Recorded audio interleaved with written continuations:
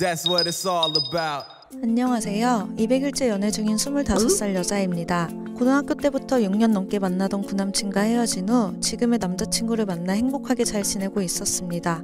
그런데 얼마 전 새벽 1시쯤 갑자기 전 남친에게 전화가 왔습니다. 안 돼. 그거 안 돼.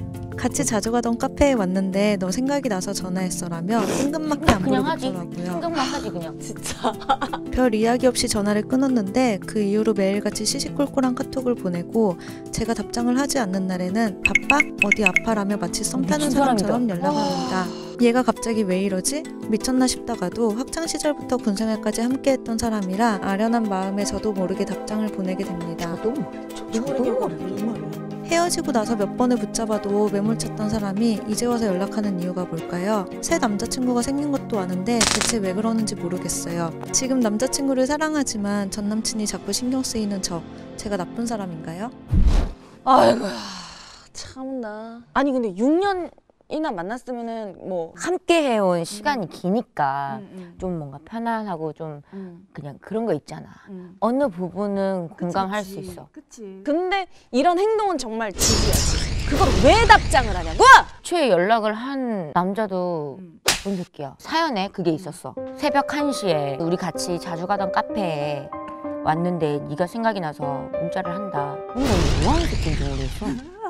새벽 1시에 그럼 혼자 카페를 갔다는 건 뭔 새끼? 난 내가 봤을 때 안 갔어 도대체, 알 수가 없어. 안 갔어 아니면 안 갔어 걔, 걔도 뭐 내가 봤을 땐 안 갔고 그냥 빌미 있잖아 치고 들어갈 멘트가 필요했던 것 같아 이런 분들의 특징이 자기가 지금 아무도 없고 뭐좀 외로울 때구 여친들한테도 어장을 치는 사람들이 있어 괜찮은 조건을 갖고 있는 게 구여친인 거야. 그런 사람들한테는. 왜냐면 적응하고 막 이렇게 할 필요도 없고 시간을 들일 필요도 없고 편안하고 좀 음. 그리고 이별도 쉽게 할 수 있겠고 가성비로서는 최고지 따박따박 답장도 와.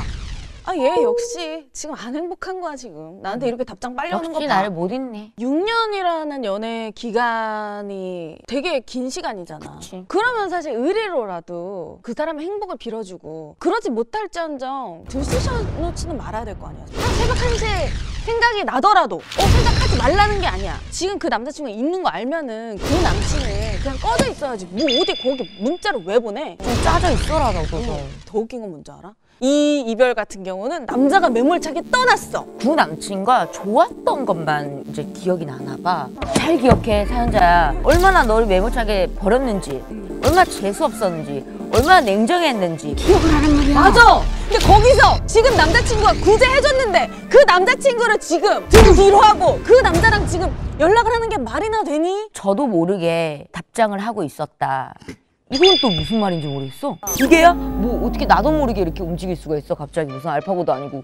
저도 모르게 답장을 하고 있었는 게 아니고 그냥 답장을 한 거야. 지금 남자친구가 전 여친이랑 지금 본인과 똑같은 짓을 하고 있다고 생각을 하면은 정말 소름도 소름이고 빡치지. 너무 배신감에 이미 나는 내 나는 마음 끝났다. 지금의 남자친구한테 상처만 되는 일이라서 지금의 남자친구가 알아채기 전에 빨리 마음을 정리를 했으면 좋겠어요. 현 남친을 사랑한다면 그만하세요. 잘라버려야 됩니다. 내 감정만 중요하면은 연애를 뭐하러 해요. 징징 그만 대세요. Red sun! Red sun!